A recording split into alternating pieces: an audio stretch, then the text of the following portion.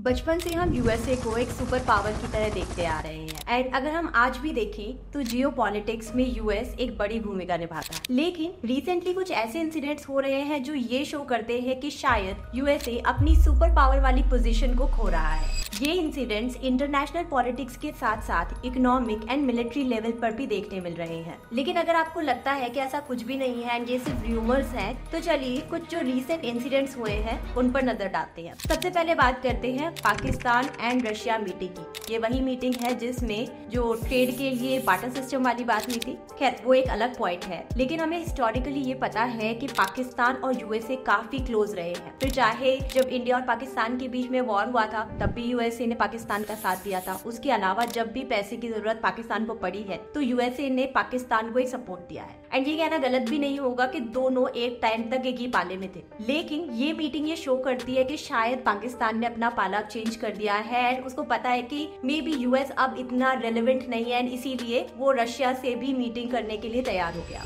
And इसका कहीं ना कहीं रीजन ये भी है कि जियो में कोई किसी का फ्रेंड नहीं होता। सब अपनी नीड्स को देखते हैं एक दूसरे को काउंटर करने के लिए रिलेशन बनाते हैं। एंड uh, अभी पाकिस्तान जो है वो चाइना के ज़्यादा क्लोज है। तो ऑब्वियसली हो सकता है कि वो जो है रशिया से भी अपने जो रिलेशन है उनको बेटर करना चाहता है। अब कुछ लोग कहेंगे कि एक छोटी सी मीटिंग ही थी एंड uh, जो एनर्जी है उसके बारे में बहुत सारे लोग डिस्कशन कर रहे हैं। पाकिस्तान को भी तो अपनी नीड्स के बारे में सोचना होगा। एंड एक्चुअली में ये सही भी है लेकिन इसके बाद एक और पाकिस्तान ने ड्रेस्टिक स्टेप लिया था। एंड जो ये नेक्स्ट इंसिडेंट हुआ ये काफ़ी ज़्यादा शॉकिंग था। जैसे कि हमें पता है क्योंकि यूएस जो है वो एक सुपर पावर है तो उसका भी होता है कि वो दूसरे जो कंट्रीज़ है उनके ह्यूमन राइट्स के बारे में कुछ ना कुछ कमेंट करता रहता है। एंड रिसेंटली इन्होंने क्या किया? इन्होंने एक बिल की पेशकश की थी कि पाकिस्तान में फेबर में इलेक्शन हुए हैं, वो फेयर नहीं हुए हैं इसके ऊपर एक इंक्वायरी बैठनी चाहिए। फिर क्या था? पाकिस्तान को भी गुस्सा आ गया और उन्होंने यूएसए के खिलाफ ही एक रेजोल्यूशन को पास कर दिया। तो अब हम कह सकते हैं कि जो यूएस और पाकिस्तान के बीच की पुरानी दोस्ती है, उसमें कुछ अनमन देखने मिल रही है, या फिर ये कहें कि पाकिस्तान को लगता है कि अब यूएसए की जो दोस्ती है, वो उतनी फ्रूटफुल नहीं रही। नेक्स्ट जो था, वो था सऊदी अरेबिया का डिसीज़न तो हमें पता है कि काफ़ी टाइम से अगर कभी भी ऑयल की ट्रेड करनी हो, या फिर और भी कुछ जो ट्रेड्स होते हैं, उसमें जो यूएस करेंसी है, उसकी बड़ी भूमिका रहती है। लेकिन ट्वेंटी में सऊदी अरेबिया ने ये भी अनाउंस किया कि वो यूएस के साथ साथ बाकी करेंसीज को भी यूज़ करना स्टार्ट करेंगे, जैसे कि युवान वगैरह। एंड कहीं ना कहीं जो ये डिसीज़न है, वो चेंजिंग इकोनॉमिक जो डायमेंशन है, उनको भी शो करता है कि कहीं ना कहीं शायद जो पावर है वर्ल्ड में, वो अभी शिफ्ट हो रहा है। एंड एशिया में जो चाइना है, वो तेज़ी से पावरफुल बन रहा है। उसी के संग जो इंडिया है उसकी भी जो पावर है, अब देखने मिल रही है। वहीं एक और चीज़ आपको देखने मिली होगी रशिया एंड चाइना है, वो काफ़ी ज़्यादा क्लोज आ गए हैं एंड इंटरनेशनल लेवल पे भी अब काफ़ी बार यूएस को अपोज कर रहे हैं। On the other hand China कभी फिलीपींस में अपनी पावर शो कर रहा है, कभी ताइवान पे शो कर रहा है एंड वो ये कहीं ना कहीं ये शो करना चाहता है कि वर्ल्ड लेवल पर उनका डोमिनेंस जो है, वो अभी बढ़ रहा है। सी यूएसए कैसे सुपर पावर बना, इस पर काफ़ी सारे वीडियोस जो है, वो ऑलरेडी अवेलेबल है एंड अगर हम उसमें गए तो ये वीडियो बहुत लंबा हो जाएगा तो हम उस पर बात नहीं करेंगे। लेकिन हमारे लिए ये जानना बहुत ज़रूरी है कि अगर यूएसए अपनी सुपर पावर वाली पोजीशन को खोता है तो उसका इम्पैक्ट इंडिया पर क्या पड़ेगा? एंड उसको जानने से पहले रीजन जानते हैं कि किन वजहों से जो सुपर पावर की पोजीशन है, उसे यूएसए खो रहा है। सो वी ऑल नो कि हर एक चीज़ जो है, वो एक साइकिल को फॉलो करती है। तो अगर कोई चीज़ आज जो है, वो टॉप पे है तो स्लोली इसका डिक्लाइन स्टार्ट हो जाएगा। एंड इसीलिए कुछ इकोनॉमिस्ट का ये भी मानना है कि जो यूएसए का डिक्लाइन है, वो 1945 में ही स्टार्ट हो गया। तो अब आप कहेंगे कि यार ऐसा तो नहीं है, हम तो अपने बचपन से यूएसए को ही एज ए सुपर पावर देखते आ रहे हैं। सी 1945 में हाफ़ ऑफ़ वर्ल्ड इकोनॉमी के साथ साथ यूएसए के पास मोनोपोली थी न्यूक्लियर वेपन्स थे उसमें भी जिसे बाद में 1949 में सोवियत ने तोड़ा था। सो so, जैसे जैसे बाकी की जो इकोनॉमीज हैं उन्होंने रिकवर करना स्टार्ट किया वैसे ही यूएसए का जो शेयर था वो कम होना स्टार्ट हो गया। तो यहाँ हम ये कह सकते हैं कि एविडेंट डिक्लाइन देखने नहीं मिल रहा था लेकिन रिलेटिव वे में ये हो रहा था। एंड ये इकलौता रीजन नहीं था, इसी के साथ साथ कुछ और भी चैलेंजेस थे, उनका सामना यूएसए को करना पड़ा। सबसे पहले बात करते हैं इकोनॉमिक चैलेंजेस की। इसमें सबसे पहला था यूएसए का नेशनल डेट जो सिग्निफिकेंट तरीके से बढ़ रहा था। अगर हम डेटा की बात करें तो 2023 में ये 31 ट्रिलियन के आसपास था, जो 2024 में 34 ट्रिलियन तक पहुँच गया।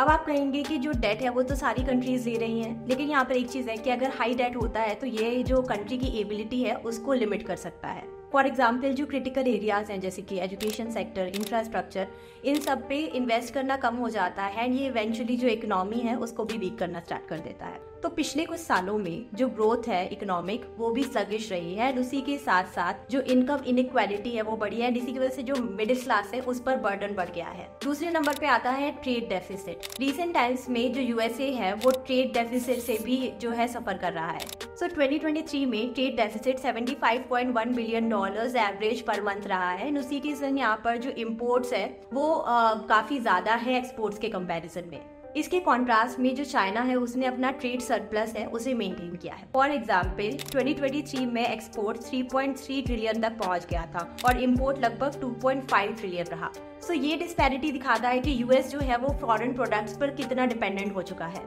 थर्ड पॉइंट है decline in manufacturing so USA का जो शेयर है वो ग्लोबल मैन्युफैक्चरिंग में कम होता जा रहा है। वहीं जो दूसरे देश है खासकर एशिया में अगर आप देखोगे तो चाइना है इंडिया है ताइवान है ये सब जो है वो अपनी मैन्युफैक्चरिंग को बढ़ाने का ट्राई कर रहे हैं। फॉर एग्ज़ाम्पल 2023 में चाइना का मैन्युफैक्चरिंग आउटपुट 4 ट्रिलियन डॉलर्स के अप्रॉक्स था जबकि यूएसए का 2.3 ट्रिलियन ओनली तो ये सब जो हो रहा है वो यूएसए को जो की इंडस्ट्रीज़ है उसमें एज मेंटेन करने में भी इशू क्रिएट कर रहा है। सो so, अभी हमने इकोनॉमिक चैलेंजेस पे बात की अब हम बात करेंगे कि मिलिट्री में भी इनको कुछ कुछ इश्यूज़ आ रहे हैं जिसमें से पहला है मिलिट्री ओवर स्ट्रेच तो जैसे कि हमें पता है कि यूएसए की जो मिलिट्री है वो काफ़ी जगह पर इन्वॉल्व है। जैसे कि ये मिडिल ईस्ट में है जापान को भी ये लोग सपोर्ट करते हैं।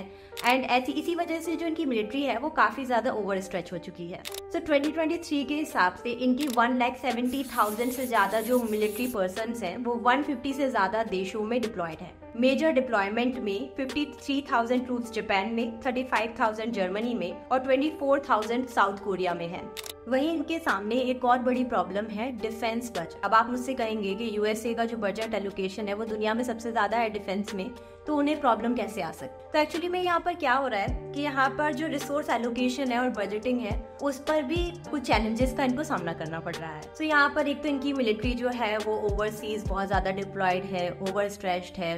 प्लस जो टेक्नोलॉजिकल जो इनको इन्वेस्टमेंट करनी पड़ती है, वो भी है। उसी के संग इनके काफ़ी सारे ऑन गोइंग जो मिलिट्री ऑपरेशन चलते हैं, वहाँ पर भी बजट एलोकेट करना पड़ता है। इस वजह से एक होता है कि एक प्लेट में बहुत सारी चीज़ें आ चुकी हैं। फॉर एग्ज़ाम्पल जो फ़िज़िकल ईयर 2023 था, उसमें जो इनका बजट एलोकेशन था, वो 773 बिलियन डॉलर्स हुआ था। लेकिन इसके बाद भी जो मॉडर्नाइजेशन था, जो मेंटेनेंस था, उसमें एक बड़ी बैकलॉग देखने मिली। उसी के साथ जब रशिया यूक्रेन वॉर भी स्टार्ट हुआ तो इन्हें यूरोप में एक ह्यूज डिप्लॉयमेंट करनी पड़ी। फॉर एग्ज़ाम्पल 2023 में वन लाख के करीब जो ट्रूप्स थे, वो यूरोप में डिप्लॉय किए गए एंड इसमें एक बड़ी प्रेजेंस जो है, वो पोलैंड और रोमानिया जैसे देशों में देखने मिली। इसमें कंटिन्यूस रोटेशन उसी के संग जो यूक्रेनियन फोर्सेस थी, उनको ट्रेनिंग देना, ये सब भी शामिल था। वहीं इन्हें काफ़ी सारी ट्रेनिंग भी देनी पड़ती है, जिससे की जो नेटो की केपेबिलिटीज है, वो भी इनहेंस होती रहे। थर्ड बड़ा चैलेंज जो इनके सामने उभरा, वो था राइस ऑफ़ अदर पावर्स अब हमें देखने मिल रहा है की इकोनॉमिक और ग्लोबल जो पावर शिफ्ट है, वो आ रहा है एंड स्पेशली जो इसका सेंट्रल जो हब है वो एशिया है। यहाँ पर चाइना एंड इंडिया जैसी जो ताकतें हैं वो बढ़ रही हैं। सो so, 2021 में जो चाइना की जीडीपी है वो 17 ट्रिलियन से ज़्यादा हो गई थी जो कि जो यूएस की जीडीपी है उसका करीब अस्सी परसेंट है। नेक्स्ट है इंटरनल पॉलिटिक्स डिवीज़न जैसे कि आपने देखा है कि इंटरनली भी बहुत सारे इश्यूज़ देखने मिल रहे हैं। इनके यहाँ बहुत सारी चीज़ों में अगर इनको एक छोटी सी डिसीज़न भी लेना होता है तो बहुत ज़्यादा अपोजिशन देखने मिलती है। एंड इसका एक बड़ा एग्ज़ाम्पल है प्रोजेक्ट ट्वेंटी तो इस प्लान के हिसाब से एक स्टेप बाय स्टेप प्लान बनाया गया है ट्रंप सपोर्टर्स द्वारा। जिसमें ये लोग क्या करेंगे कि आने के बाद जो गवर्नमेंट ऑफिशियल्स हैं, उनको चेंज करेंगे। जिससे कि जो ट्रंप पॉलिसीज़ को लाना चाहते हैं उनको इम्प्लीमेंट करना ईजी हो जाए एंड पास करना ईजी हो जाए। एंड इस प्रोजेक्ट के अंदर जो इमिग्रेशन पॉलिसीज़ हैं, उनमें भी बड़ी तेज़ी से बदलाव किया जा सकता है, क्योंकि इनके सपोर्टर्स का मानना है कि जो इमिग्रेशन है, उसकी वजह से जो यहाँ के लोग हैं, उन्हें इजिली जॉब्स नहीं मिल पा रही है, उन्हें डिफिकल्टी का सामना करना पड़ रहा है। तो इन सबको मिलाकर यूएस के सामने इस टाइम इंटरनेशनल लेवल पर इंटरनल लेवल पर और जो इकोनॉमिक लेवल है, उन सभी तरह से जो चैलेंजेस हैं, उनके सामने आ चुके हैं। तो इन सारी चीज़ों को देखकर यूएसए के सामने काफ़ी सारे चैलेंजेस आ चुके हैं और वो जो है वो इकोनॉमिक लेवल पे है इंटरनली भी काफ़ी सारी जो चीज़ें हैं वो स्टेबल नहीं तो अब क्वेश्चन ये आता है कि अगर ये पावर शिफ्ट होता है तो इसका इम्पैक्ट भारत पर क्या पड़ेगा? तो इसको कंक्लूड करने से पहले हम जानते हैं कि एक्चुअली में इसके जो पॉजिटिव इम्पैक्ट है वो भारत पे क्या पड़ेगा एंड उसी के साथ हम जो नेगेटिव इम्पैक्ट पड़ेंगे, उन पर भी बात करेंगे। सबसे पहले बात करते हैं इकोनॉमिक अपॉर्चुनिटीज़ की। तो जो यूएस है, वो अपनी पावर को खोता है इकोनॉमिक लेवल पर। तो इंडिया के लिए काफ़ी सारी अपॉर्चुनिटीज़ क्रिएट होंगी एंड हम अपने मैन्युफैक्चरिंग सेक्टर को डेवलप कर सकते हैं, क्योंकि काफ़ी सारी ट्रेड्स और इन्वेस्टमेंट है, उसको भारत में लाना इजी हो जाएगा। वहीं जो भारतीय कंपनीज़ हैं, उनको भी इंटरनेशनल लेवल पर एक्सपेंशन का मौका मिलेगा। सेकंड है स्ट्रेटेजिक ऑटोनोमी सो यूएस की डिक्लाइनिंग पावर का मतलब है कि इंडिया को अपनी जो फॉरेन पॉलिसी है, उसमें ज़्यादा इंडिपेंडेंस मिलेगी। एंड इंडिया जो है, वो चाइना एंड रशिया से अपने रिलेशंस को बैलेंस कर सकता है बिना किसी प्रेशर के। थर्ड नंबर पे है डिफेंस कोलैबोरेशन इंडिया को अपनी जो डिफेंस कैपेबिलिटीज है, उसे बढ़ाने का मौका मिलेगा। एंड उसी के संग यूएस के साथ अगर ये कोलैबोरेट करता है तो जो अपना डिफेंस सेक्टर है, उसको हम मॉडर्नाइज भी कर पाएँगे। फोर्थ नंबर पे है जियो पॉलिटिकल इन्फ्लुएंस तो इससे भारत के पास मौका आएगा कि एशिया और वर्ल्ड लेवल पर भी जो अपनी जियो पॉलिटिकल इन्फ्लुएंस है, उसको बढ़ाए। इसका मतलब है कि इंडिया रीजनल लीडर की तौर पे अपने आप को प्रोजेक्ट कर सकता है। अब ऐसा भी नहीं है कि सारी चीज़ें जो है वो पॉजिटिव होंगी। ऊपर हमने इकोनॉमिक अपॉर्चुनिटीज़ की बात की थी। अब हम बात करेंगे इकोनॉमिक चैलेंजेस तो अगर यूएस की जो इकोनॉमी है, उसमें स्लो डाउन आता है तो इसका असर हमारे ट्रेड और इन्वेस्टमेंट में भी पड़ेगा। एंड उसी के संग जो इंडिया की आईटी इंडस्ट्री भी है, वो भी बहुत ज़्यादा यूएस पे डिपेंडेंट है, क्योंकि काफ़ी सारे प्रोजेक्ट्स आते हैं।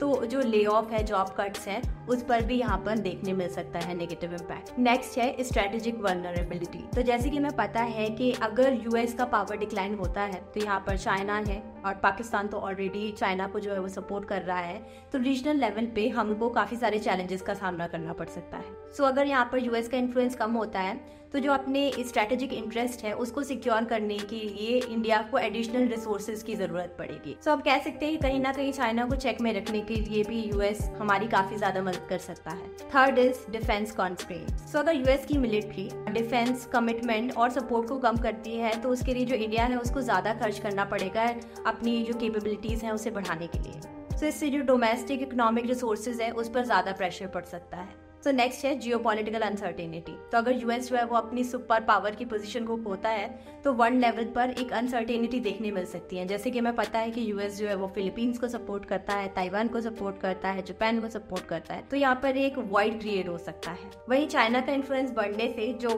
भारत है, उसके लिए काफ़ी सारे चैलेंजेस जो है वो क्रिएट हो जाएँगे। मतलब वही है बेसिकली कि ठीक है, इससे ये बेटर मतलब इस तरह की कंडीशन है। नाउ टू कंक्लूड अभी हमने देखा कि अगर ये सुपर पावर डिक्लाइन होता है तो उसका असर दोनों रूप से पड़ेगा। पॉजिटिव इम्पैक्ट भी आएँगे, जैसे अपॉर्चुनिटीज़ कुछ कुछ क्रिएट होंगे उसी के संग संग चैलेंजेस जो है, वो भी बढ़ सकते हैं। एंड चाइना के की बढ़ते हुए इन्फ्लुएंस को देखते हुए भारत को न्यू स्ट्रेटजीज को अडॉप्ट करना पड़ सकता है, क्योंकि बहुत सारी रिसोर्सेज को, बहुत सारी चीज़ों को बैलेंस आउट करने की ज़रूरत पड़ेगी फ्यूचर में। वैसे आपको क्या लगता है कि आने वाले टाइम में क्या होगा? क्या सच में यूएस जो है वो अपनी सुपर पावर खो देगा? नेक्स्ट जो सुपर पावर है वो कौन बनेगा? एंड आने वाले टाइम में क्या इम्पैक्ट हो सकते हैं? वो आप मुझे कमेंट सेक्शन में बता सकते हैं।